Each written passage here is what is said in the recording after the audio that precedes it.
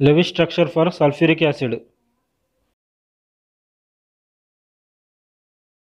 the valence electrons of hydrogen is one the valence electrons of sulphur is six the valence electrons of oxygen is six in H two S four compound there are two hydrogen atoms one sulphur atom and four oxygen atoms present Now we need to draw the structure of H2SO4.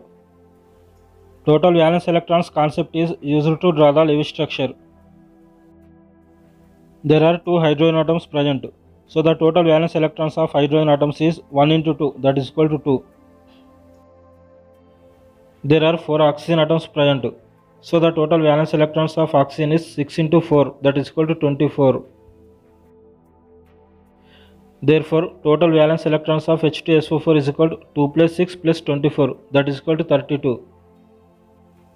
Total electron pairs are determined by dividing the number total valence electrons by 2. For H2SO4, total pairs of electrons are 32 by 2 that is equal to 16. To be the center atom ability of having greater valence is important. For H2SO4 molecule, sulfur has the highest valence than oxygen and hydrogen. Now we can draw a structure of H2SO4. Sulfuric acid is a dibasic acid. It can release 2H plus ions in the water. Therefore, there should be two OH groups in H2SO4 molecule.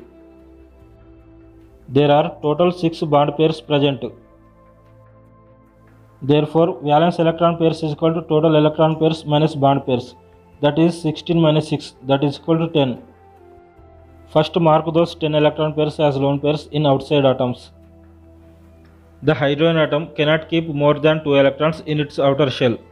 There are already 2 electrons in hydrogen atoms. Therefore, we cannot mark those electron pairs on hydrogen atoms. We can mark those 10 electron pairs on oxygen atoms. Oxygen atom can keep 8 electrons in its valence shell. Therefore, there is no electron pairs to mark on sulfur atom. Now the 4 oxygen atoms fulfilled the octet. Now we can find the charges on atoms. Charges on atoms is important to find the most stable Lewis structure. As per oxidation number rules, oxygen has oxidation number of minus 2. So every oxygen atom will have 2 bonds. Therefore, the 2 oxygen atom will get a minus 1 charge and sulfur atom get a plus 2 charge.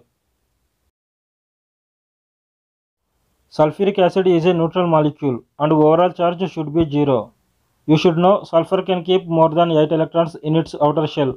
So now we should try to minimize charges by converting lone pairs to bonds between sulfur and oxygen atoms. This is the Lewis structure for H2SO4.